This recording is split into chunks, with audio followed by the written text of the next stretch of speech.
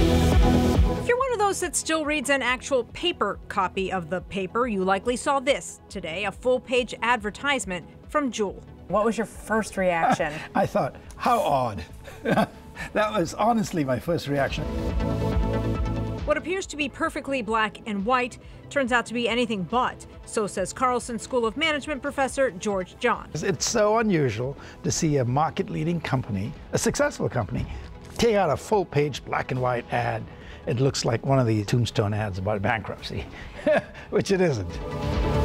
Nope, it sure isn't. The ad suggests that Minnesota lawmakers bump up the age to buy tobacco from 18 to 21, including e cigarettes. Several individual communities have done so, but not statewide. While it might seem strange for a company that sells e cigarettes to take such a stance, there's something deeper at play. Consumption of tobacco and e cigarettes has stopped going down among high school kids and has actually started to inch up. The FDA is concerned, lots of other social activists are concerned. So my suspicion is that they don't want to be caught in a box like big tobacco was and you know the alcohol companies and stuff like that. This is less about than taking the moral high ground and more about protecting themselves in the future. It's absolutely all the latter. Let's be serious. They're doing this for a business purpose, and the business purpose is to be proactive in not getting into trouble being accused of targeting kids.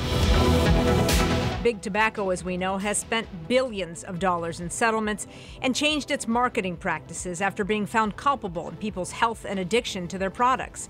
Juul is trying not to have history repeat itself. And just like the tobacco and alcohol industries before them, they don't stand to lose business just because the age to buy goes up. The reality is probably not. Kids are going to get the stuff, they're going to get their friends to buy it, they're going to get their older brothers and sisters to buy it, but it gives them a safety margin. They're not going to be as readily accused of targeting kids. The wrong impression. This isn't a bad thing, even if they're not doing it for the most righteous of reasons. I've got to take my hats off to them. They're pretty clever about it, but whether two Stanford grads are putting their energies to the best use that the world could see, that's somebody else's judgment.